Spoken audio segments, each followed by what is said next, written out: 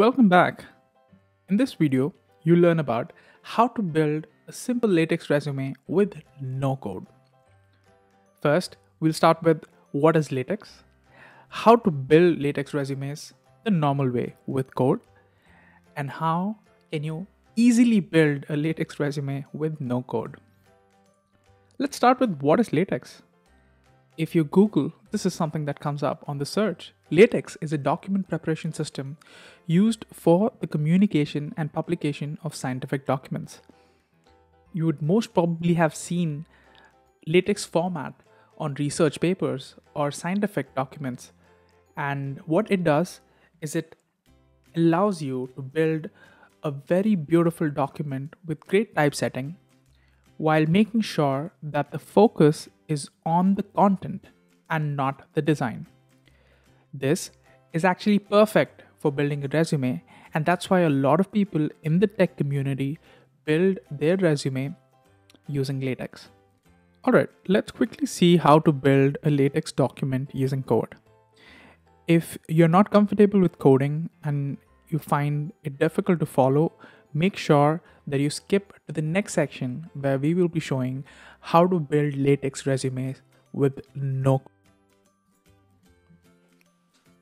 a simple google search will give you this stanford.edu link that has a sample document uh, for how a latex would look. You notice it has its own syntax and when you compile it it gives out a document that looks exactly like this.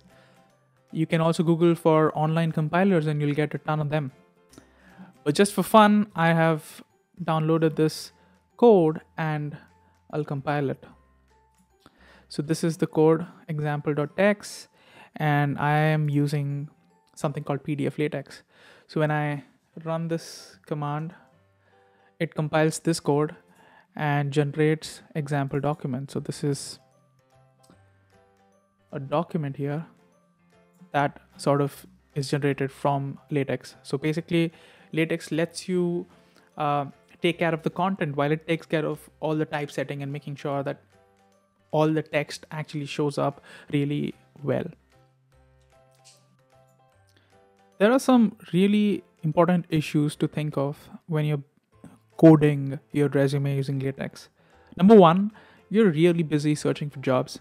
So you will end up spending too much time learning the syntax, making those small adjustments. Sometimes building these resumes can take anywhere from 15 minutes to 45 minutes per resume, and that is a time that could be used for preparing for the interviews. Targeting multiple jobs is cumbersome. Like if you have to make smaller edits and for some reason it goes to the next line, there are chances when latex could break.